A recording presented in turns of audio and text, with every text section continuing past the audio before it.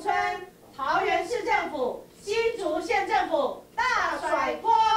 人民立委愤怒甩锅，不满狒狒事件中，桃园市政府、新竹县政府及六福村推卸所有责任，尤其六福村前后说辞不一，甚至扬言对猎人提告，让猎人独自承担舆论压力。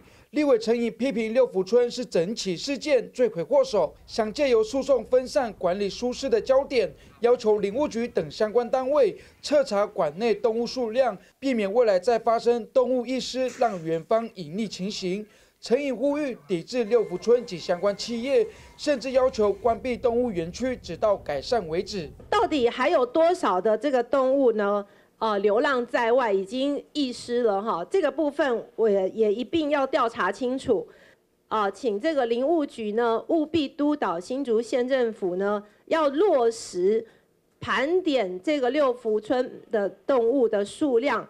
立委吴立华则指出，这次事件让猎人身心灵造成巨大创伤，也凸显国内在野生动物抓捕行动尚缺有效的规范及技术。林务局表示，已研议修正野保法，除了提高动物遗失罚金，发生遗失导致主管机关协助围捕所衍生费用。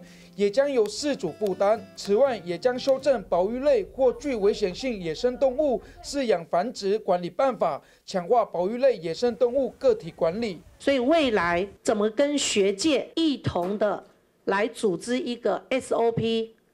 我想，这个是这一次的一个事件所凸显出来，政府单位必须要关注、注意、改进。三十七条跟五十一条。哦，那尤尤其是针对这些这个意思的这些的呃动物哈，那我们会加强这个事主的一些责任，那加重罚金哈等等的这些措施哈，我们都已经在做一些呃严拟了。至于未来与猎人合作关系，领务局回应，国内移除外来种等相关工作，还有赖他们协助执行，不会停止，强调与领务局仍会保持一定信任度。